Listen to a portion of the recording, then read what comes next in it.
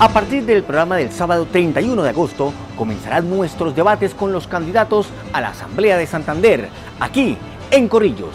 Cada semana, tres candidatos de un mismo partido político discutirán sobre cinco temas de interés. El debate será guiado por Laura Cristina Gómez, abogada, secretaria de Educación, es gerente de Metrolínea y actual directora de la Universidad Nacional Abierta y a Distancia UNAD de Bucaramanga.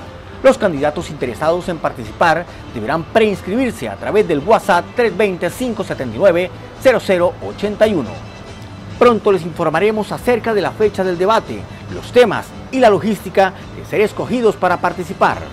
Corrillos, primero en elecciones.